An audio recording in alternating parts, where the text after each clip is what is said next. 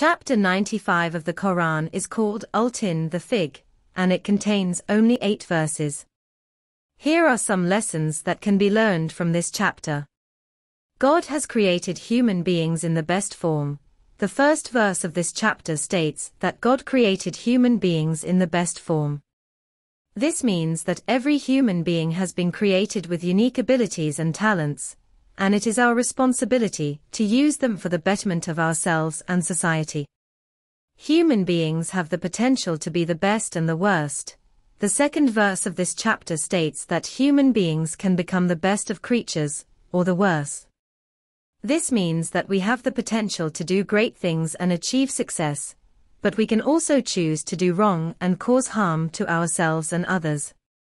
The importance of faith and good deeds. The third verse of this chapter emphasizes the importance of faith and good deeds. It states that those who have faith and do good deeds will have a reward in the hereafter. This means that we should strive to have faith in God and do good deeds in this life to earn a reward in the afterlife. The consequences of disbelief and evil deeds.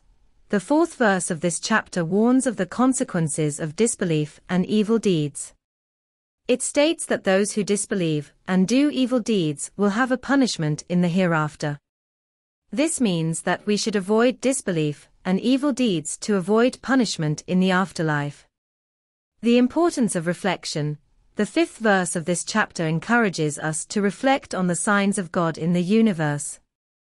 This means that we should take time to reflect on the beauty and wonder of the world around us and recognize the greatness of God.